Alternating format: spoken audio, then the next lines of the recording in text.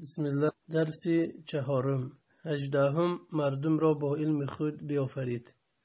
Нуздаҳум тақдиру сарнавишти онҳоро муайян намуд. Бистум аҷалу муҳлати онҳоро муқаддар ва муайян сохт.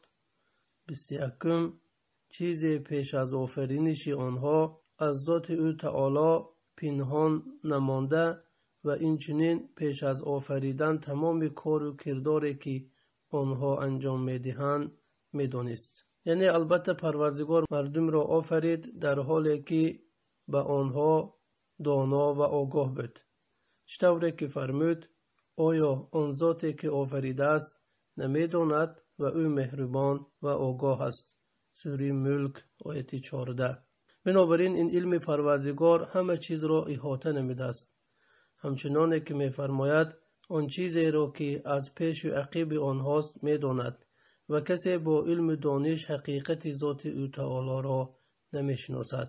Сураи тоҳо ояти яксаду илми аллоҳ таоло ба чизҳои гузашта ва оянда ва чизе ки рух надодааст агар ба вуқӯъ меомад чӣ гуна сурати ҳастӣ мегирифтро фаро мегирад чизе ба андозаи як зарра ва на хурдтар ва на бузургтар аз он дар осмонҳо ва замин дар илми парвардигор пӯшида нест магар ин ки ҳама дар китоби возеҳу ошкор сабт гардидааст. Яъне чизе аз ӯ пӯшида нест ва илми ӯ куллиёт ва ҷузъиётро фаро гирифтааст. Ҳама чизро парвардигор ба андозае офаридааст ҳамчуноне ки мефармояд мо ҳама чизро ба андоза офаридем сураи қамар ояти чилну аз ин рӯ хайру нек ва шарру бад ҳама муқаддар мебошанд ва ҳама чиз ба андоза офарида шудааст. Ин гуфта даъвову пиндории касонеро ки мегӯянд ки шарру бадиро худованд наофаридааст рад менамояд. Аллоҳ таоло барои мардум муҳлату вақт муайян намудааст ки аз он зарре таъхир намекунад пас ҳар вақте ки аҷалашон фаро расад соате тақдим ва таъхир нахоҳад кард.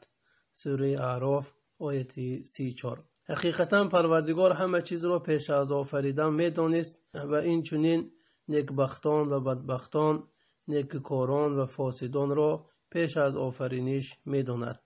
Ва чӣ гуна дар кадом рӯз сарзадани корҳоро аз онҳо низ хоҳад донист ҳеҷ чизе аз кору кирдори мардум аз ӯ пӯшида нест хулоса албатта парвардигор мардумро ба илми хеш офаридааст ва тақдиру сарнавишти ҳар чизро муайян кардааст чизе аз махлуқоташ ва аз аъмолу кирдорашон пеш аз офариниш бар ӯ махфӣ ва пинҳон намондааст